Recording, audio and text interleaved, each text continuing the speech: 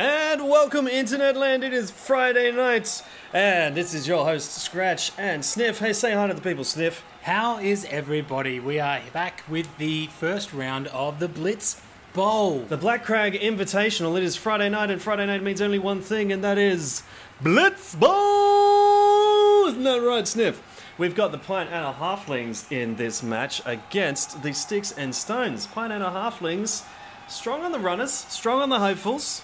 But you just can't beat the strength of the Sticks and Stones. They are basically impenetrable, in, unpenetrable, Unpenetra- undead. Undead, unpenetrable. I love that uh, change It's from a the new English word. language. It's, a, new, word. that I've just come up And with. And here comes the team itself, and just in sheer weight of numbers, look at that ominous look there. they We- might not be great at doing much, but there's lots of them. It certainly is. Two skeletons, two zombies, no special uh, abilities anywhere to be seen. you be don't seen. want to get in the way of the mummy. No, that mummy makes a mark and it gets a shove. You will be knocked down instead. The white blitzer gets to really get in there with its tackles, and the ghoul just the sheer speed. These halflings are going to have to watch their game, and here they come out on the field in the red and green. The pint and a halflings. There's You'll- no hocus pocus there, just skill and focus. That's it. Speaking of hocus and pocus, here come the sticks and stones.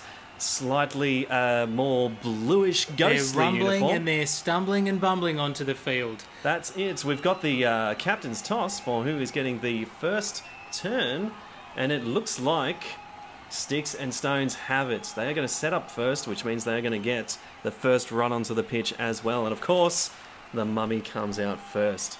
This is a smart move there, Sniff. What do you think? You want to make sure you get the mummy out there because he's going to really do some protection. He's going to do some defense. You, you make sure that you get him in front of your fastest runners so that you can do some protection. Also, very slow, the mummy, so you don't want to leave him sort of uh, off to the side, you would think. Um, uh, I'm yet to see someone who has put the mummy out far on the wings in any of these matches, but this is the Black Crag Invitational, and anything can happen.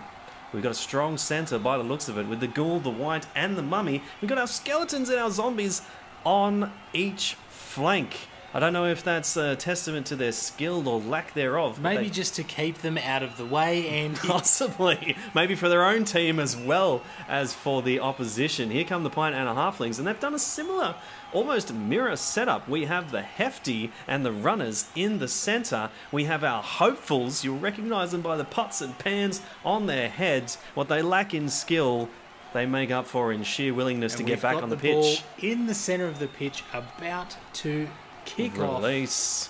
There comes the ball from the trap door, and it is Sticks and Stones with their opening moves of our Blitz Bowl game in this Friday night match. And of course, as we all expect, the Ghoul is out first, and the Ghoul has gone straight for the ball. Seven. It has travelled seven entire squares, picked up that ball immediately. What? It is the fastest player on the game, can obviously take the most amount of board space. So off he goes, picks up the ball. Now let's see if she can keep it.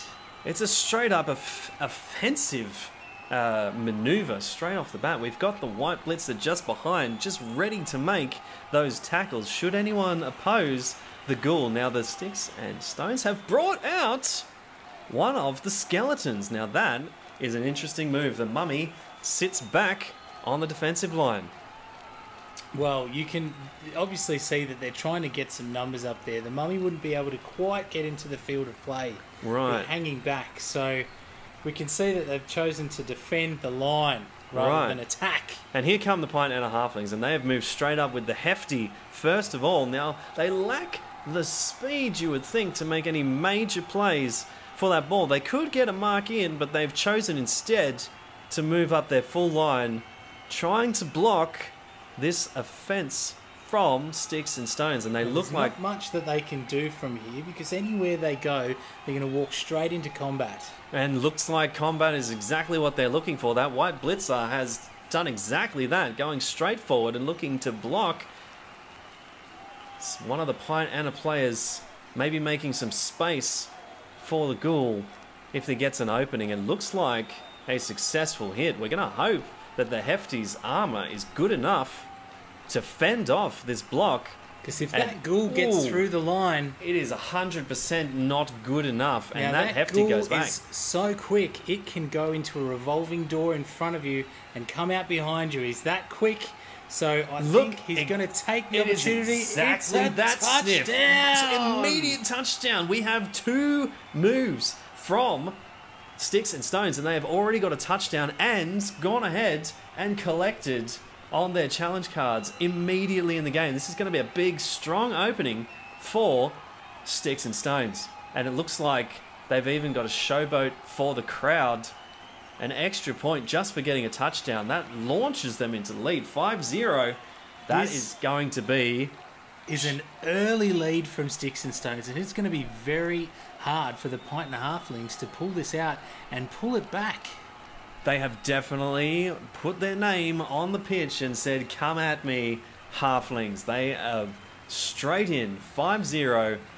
Pine Anna, obviously at this point, wondering what they are going to do now. A second ball has come out of the trapdoor and hit the pitch, and it has bounced slightly in favour of the Pine Anna halflings. They're going to enjoy that. But with one player in the dugout already, here we go. The runner, best person for the job. The runner's good at avoiding tackles. You have to get the absolute most brutal tackle to take down these runners. Otherwise, they will just slip out of your grip. The runner Obviously, has, the Pint-Anna Halflings are going down the right flank there. They want to stay well clear of that mummy. and well clear of that blitzer as well. That white blitzer is not to be trifled with. We've got a run taking the ball deep into the sticks and stones. Here come one of the hopefuls filling in that gap in the midfield. And here comes, it looks like, yes it is, another hopeful onto the pitch. The Pineapple Halflings might be playing a long game here, trying to get as many players out and in the midfield while they still can. They haven't picked up any points this uh, Garnering a bit of support from the, the back. We've only got one Pint-Anna Halfling out there by themselves, and with only one turn for each player, it's kind of hard for them to do it if they haven't got any support up there, Scratch.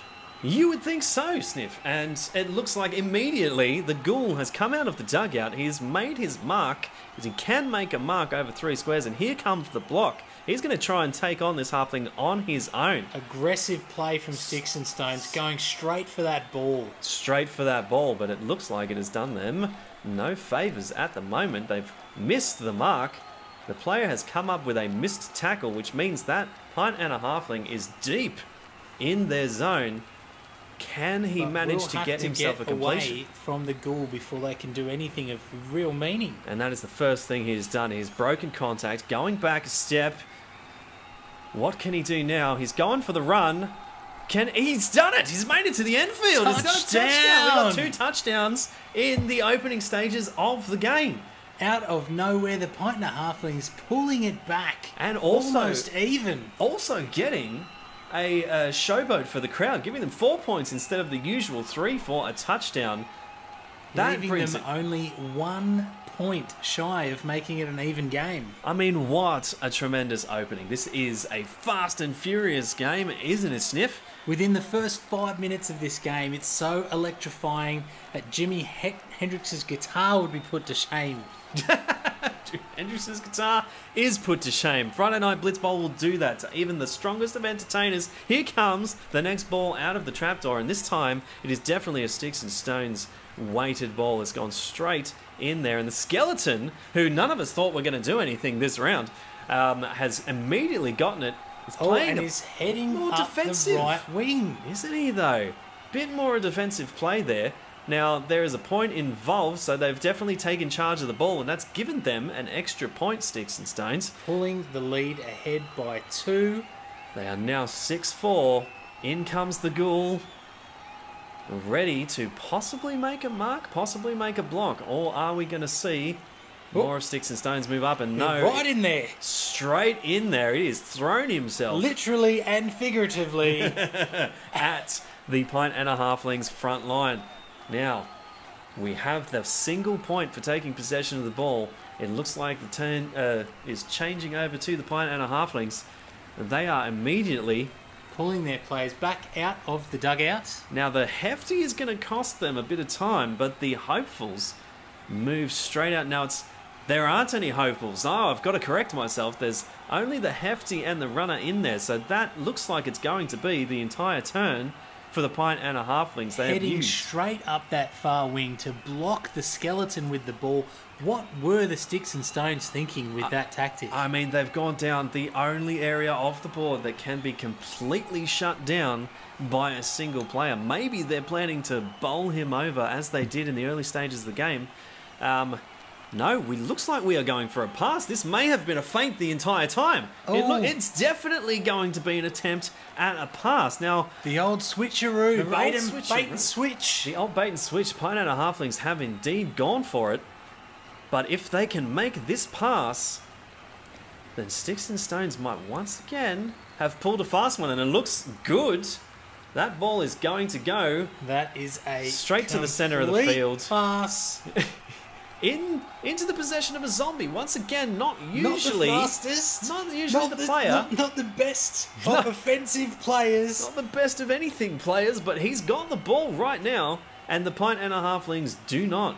And it looks like they have gone up. Yes, they have. Another point for completing a pass. It is 7 4. The mummy has finally come out. Sometimes this game isn't just about touchdowns. It's about smart and steady play which will get you the points. That's and this it. seems to be the sort of game that Sticks and Stones are playing. It does. And the Pint-Anna halflings, for their own uh, attempt, are going to join forces. They are playing the long game. They've got two Pint-Anna halflings against the ghoul. It looks like they have made a successful tackle. The ghoul has used a special play to try and get out of it, but he has failed and has ended up in the dugout. Now, is this going to earn the Pine and a Halflings some points as well as just getting that meddlesome ghoul out of the way? That is the main question. And you can see that the ghoul's not happy about that. You can see You can his see lips moving, captain. but he's definitely not praying. He's definitely not praying, Uncle. Here comes the hopeful from that recent tackle. It looks like they are going in again, a mark and a tackle. The Pine and a Halflings are trying to clear the board here. We are trying. They are trying to get rid of sticks and stones from their end zone, from their end of the field, and it looks like they are going to be successful. Now we just got a knockdown here, not injured enough to be sent to the dugout. Maybe some holy water in the eyes. Just a little bit of a sleep, just a little bit of a rest, put the feet up, and he'll live to fight another day. Live to fight another day. Good one, Sniff. These guys For are an undead warrior. yeah. Complete. I see what you did there. Now we've got a free reserve coming out. Sticks and Stones look to be making up for this attack from the, The Pine and a ghoul is Halflings. back on the board. Immediately, just like carry from the grave, straight up out of the dirt. And we have got the zombie looking to go down the other flank here, Sniff. Now we've already seen. tactic from Sticks and Stones. They've gone all the way to one edge of the board, past it, and are now all the way. But they don't seem to be going forward, which could, you know, it's It quite- could be a tactical error on their part, Now, but be- what they've done is they've activated the multi-ball by multi-ball! Multi-ball! By not scoring any of the challenge cards and being in possession of the ball, a second ball is entered the pitch, and again they've got a positive bounce straight back towards the mummy and sticks and sticks and stones. Now They may end up with two balls and two touchdowns. They could very, very well. We've got some intricate play here from the Pint-Anna Halflings. They are going to, yes, they are going to maneuver. They've Oh, played a special card so they can move around the opponent's team, and they have stolen the that. Pint-Anna halflings waiting for their opportunity, and they have pounced on that like a hobo on a ham sandwich. And I think it's actually a pasty, a ham pasty, but they've got it right now. And it looks like, oh my gosh, the Pine and a Halfling with the ball is going at the Sticks and Stones team member with the ball, trying to tackle as well as take possession That of his own ball. That is some aggressive play. That is super aggressive. Unfortunately, he's just gotten a shove in there. So we have our two ball wielding members of our teams locked in Mortal Kombat as we turn back to Sticks and Stones for their next turn. What are they going to pull out this Sticks time? and Stones seem pretty spread out across the board. They're going to take a lot of time and a lot of moves just getting members over there to help.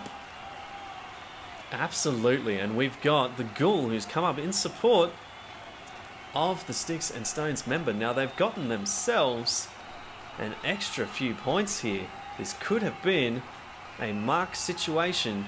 Having enough of the Pint-Anna halflings marked by their players has given them two extra points, bringing it to 9 4. But having said that, Andy, that scratch, they have left themselves wide open. That goal line has no one defending it whatsoever. And It this- is open for attack. This could be a long term play, getting them 10 points to 4 now. They may have gone for the points in the challenge cards rather than a touchdown. Here we go. No, we've got an extra play move from Sticks and Stones. They're going to get an extra play by the looks of it.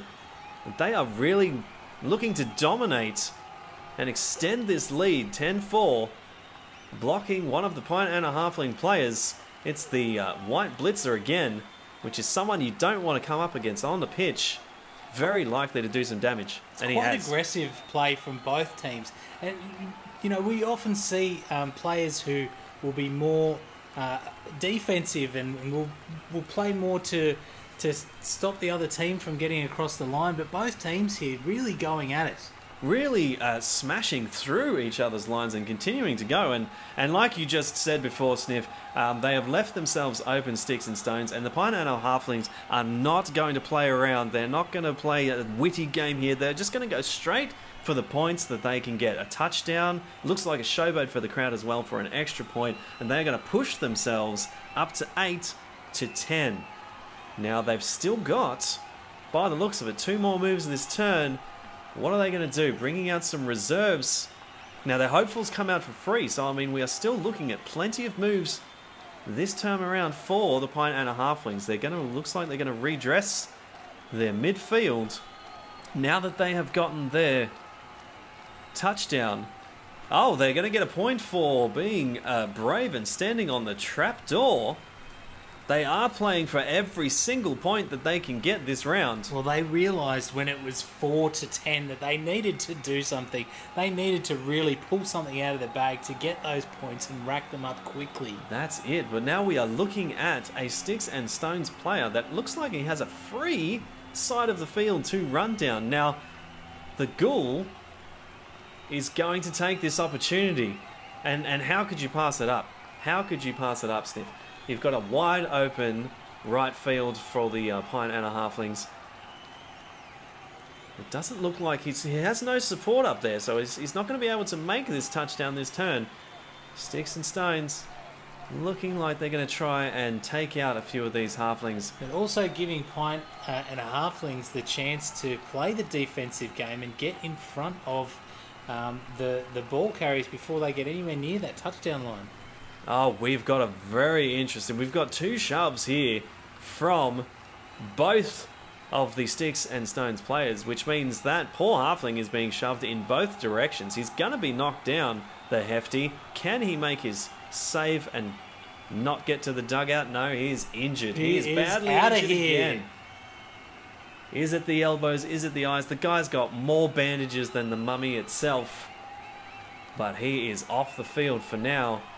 Pint-Anna halfling is going to have to consider where the ball is and how they are going to keep their lines. That was a good mummy joke there, by the way. I missed that one. it's a fast and furious game there, Sniff. You've got to keep. yeah, no, I, mi- I missed that. Yeah, great, great mummy joke there. Thanks, buddy. I always appreciate it. Now, we've got extra reserves by the looks of it coming out for the Pine and a Halflings. They look scared.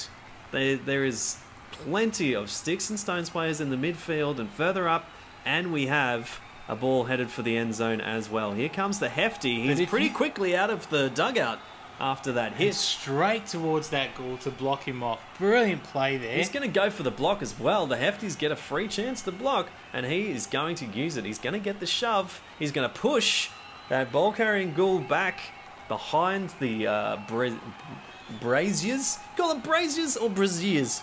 I would call it just a, an object. An object with a fire on the top. Yeah. Pushed him back, blocked him off, so we now have sticks and stones with a bit of a predicament here. They are either going to have to plow through that hefty and keep going, or we're going to see some more passes in this game. That ghoul is more blocked than my undercarriage after 400 grams of brisket. And that is a lot of brisket, and that is a lot of undercarriage. Sniff. So that is pretty blocked, ladies and gentlemen. Looks like he's gone for the block. And once again, our Hefty has been taken down. This time, not injured enough to end up in the dugout. Lucky Sticks guy. and Stones were hoping Oh, that they no. were going to find their way through there. We have a foul play. So the ghoul has made a- an attack on our halfling Hefty while he was on the ground. He's been sent to the dugout, What injured. good. What a nasty maneuver. The ghoul, however, Has Does- had his turn and cannot go again. has had his turn. He has made his tackle attempt. So it looks like the White Blitzer is trying to, and he's got a shove as well. The White Blitzer failing to take down. Suddenly, these halflings do not seem to be taking the licking that they were earlier in the game, staying on their big furry feet against this attack. These tiny halflings standing up And against the do you know what time it is, it the is, undead. Sniff? It's Multi-ball! Sticks and stones have failed once again That's to get any scores on the board. This game to, to do any sort of points damage. Exactly, and we have another ball on the field. Now, it looks pretty well covered by sticks and stones, but the Pine Anna Halflings are going to make their move, and I think I just saw a hopeful make a tackle attempt against a mummy. And that is something that you only see in Friday Night Blitz Bowls, Dead. That's it. The, the kind of courage there that you only see from a halfling. Half man, all courage. Now, it was a completely unsuccessful attack, we must say. So, I mean, the, the heart was there. The general body mass, however, was a little bit lacking, which Very means hard to score any sort of damage on a mummy. on, a, on a, an undead ghostly mummy as well. Yeah. It's just tough. It's just tough. But we've got to commend them for the effort that they made. It's going like to a turn over. chihuahua jumping up against a brick wall. exactly. You gotta you gotta barrack for the brick wall, really. Now, the ghoul is back at it. He needs to get an opening here, and it looks like he's going to try and do it himself. Takes another attempted block, this time at a hopeful. And the hopeful is not going to pass that armor save. Pots and pans on your head, not always the best protection when you're playing Blitz Bowl at the Black Crag Invitational. Now they've gotten another point, Sticks and Stones, for that takedown. Oh, they are rocketing up. They're at 12 now against Pint Anna's 9. Just widening that lead once again. But Pint and the Halflings have come back before. Can they do it again? Exactly Swiftly right. running out of turns, though. Swift. Scratch. The, the, the, the timer keeps on ticking. And there goes the ghoul once again, as if they didn't have a big enough lead. We are going to get another touchdown for Sticks and Seems like the Pint and the Halflings just really focused on the pasty ball in the middle of the field and just completely forgot about that ghoul with the ball on the sideline. I, uh, this, the smell of pasties, Sniff, how can you resist it? And it looks like the Pine Anna halflings got a little bit distracted themselves. They are being checked by this irritating mummy who's just so incredibly hard to take down. They're going to have another try with a single hopeful once again. They Very, are very minimal effort. they are clutching at straws at the moment. Can they do it though? We have Absolutely. absolutely second time need- around. You don't need much. They have. I think it might have been the extra scent of the pasty that's done it, but that single It hopeful has has, taken down that mummy. He's going to take up the ball immediately. Has he got enough leg The room? mismatch of the century. he's done it. But he's got all the upper body strength. His like feet Conor can't take McGregor him. against the mountain. He's taking him down. Taking him down. Unfortunately, just could not get across the line this turn, which is going to give Sticks and Stones a chance to block. Now, I mean, it's not going to be hard to pull that ghoul out of the reserves and park him right there. You would think so, and you'd think that is exactly what the captain is thinking right now. Now, Pine Anna Halflings taking possession of that ball and getting themselves a point.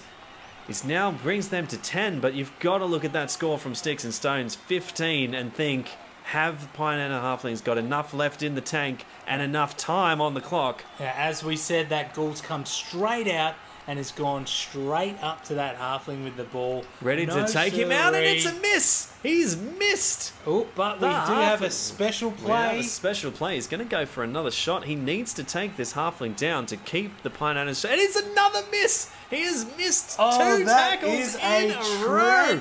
You can the only man standing in the way of the touchdown line. And because he has missed a diving tackle, it's the ghoul himself who ends up on the pitch, sprawled out. The halfling now unguarded, right next to the end zone. Now, a simple touchdown is not going to do it for the Pineapple Halflings right now, but you've got to say it's going to help. It's going to put them back in the game. It's definitely going to bring that lead down, and it's what they need right now to get back in the game. Otherwise, it's already over. That halfling is the. You've got to think that's the luckiest halfling on the Pineapple Halfling team. He's just right now. taken down the mummy, and now he's come up against the ghoul. Two whiffs, two misses, and he's in for a touchdown. Absolutely he is definitely laughing. going to be paraded around the tiny bar that they go to later on this evening. He'll be swimming in that barrel as long as they can pull off a win to clinch it. Now there's 13 to 15, and uh, it's 14 now. 14 Looks like the Pine and a Halflings have managed to crawl their lead down to one point off This once again, and exciting. we've hit the end The zone. We've hit the final countdown. round. This is going to be the last play from either team. The ball has come out of the trap door. It has bounced off The the, mummy's sprawled out head. mummy's head back, Back to the the trap trap door. door. So this is a completely even ball.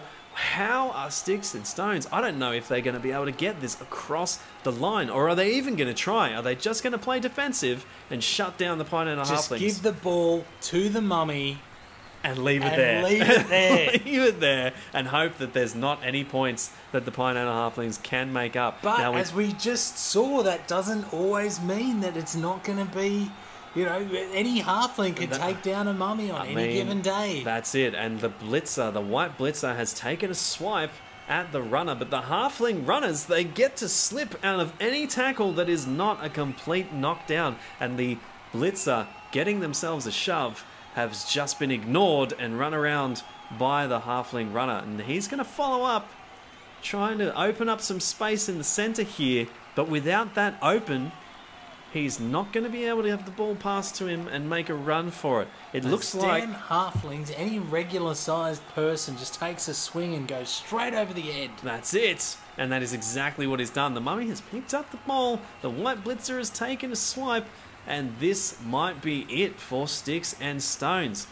That is their, Their last final turn. play, and as it rests, they're not looking too great. They don't have a good spread on the field. The mummy has the ball, but we've seen that that doesn't mean anything in the grand scheme of things. The Pine and a Halfling certainly have their work cut out for them, but they just need a simple point on the board. Now, a takedown at this point in the game will earn them two points. That will put them in the lead. However, all they need to do is get There's simple single point to draw out this game. There's three cards to play for. They're gone for the takedown. They are going for a knockdown. Now, a simple knockdown's not going to do it for them. They need to injure a player to get the two points here. Could they have just ruined their chances by going for such a difficult play? And the White Blitzer gets the armor save, and it looks like the White Blitzer is going to make his armor save, meaning he's just taken down on the pitch, and the He's halflings. not injured. He's not injured, robbing the Pine and a Halflings of the two points that they needed. They still have another play in them, but it's not going to do them any good. I can't see them making any more At points this this game, point, Stiff. I think it's academic. There is no way that they can pull this back. But what a close match. One point in it at the end. And that's it. Touchdowns from the start, Final touchdowns from time, the end. It's 15 14, to 15. 14. The captains shake hands, and that is the end. Our winners for this evening Sticks and Stones. Now, congratulations to Sticks and Stones. Join us again for round two of the Black Crag Invitational, where we will have the Chaos Golden Hind team up against the Ogres Thundergut Thumpers. And join us again for some Friday night Blitz Bowl!